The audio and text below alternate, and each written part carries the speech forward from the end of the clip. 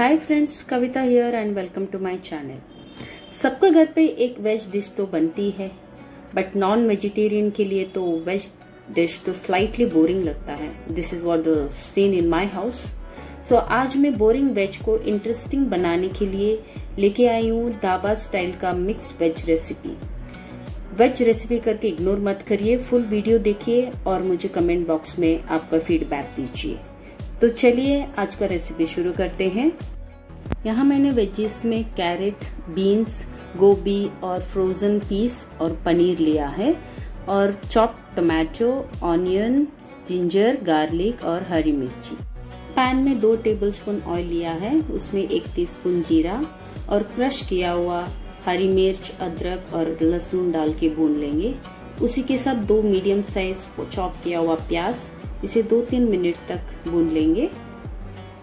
और उसके साथ मैंने एक टेबल स्पून घी डाला है। That gives a good taste and aroma उसके ऊपर आधा टीस्पून नमक डाल देंगे। अब बारी है मसाले की। एक टीस्पून हल्दी पाउडर डेढ़ टीस्पून धनिया पाउडर इसे दो सेकंड तक भून लेंगे। उसके बाद लाल मिर्च पाउडर एक टीस्पून याद रहे, मसाला डालते वक्त फ्लेम को लो कर लीजिए।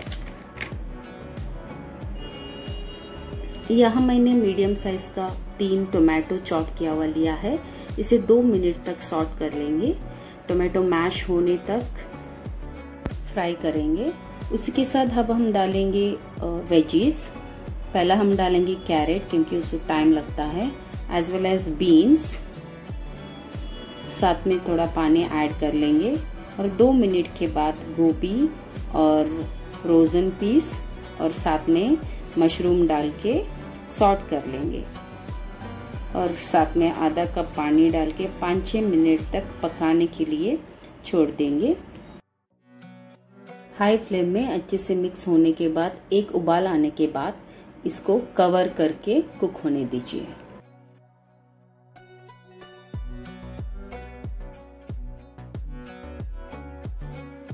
पाँच मिनट के बाद स्वाद अनुसार नमक डाल देंगे।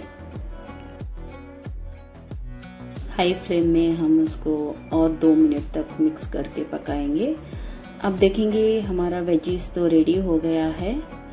अब हम डालेंगे the last ingredient of veggies that is paneer which gives a good combination for the mix veg recipe इसको हल्का सा सॉर्ट कर लेंगे।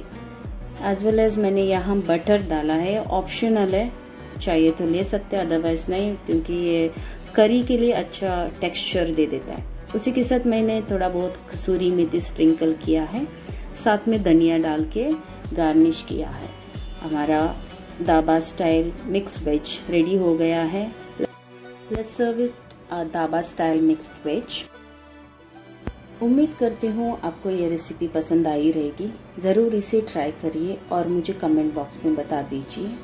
अगर आपको ये वीडियो अच्छी लगी तो और यूज़फुल हुआ तो प्लीज़ डू लाइक एंड आपके फ्रेंड्स और फैमिली के साथ शेयर करिए.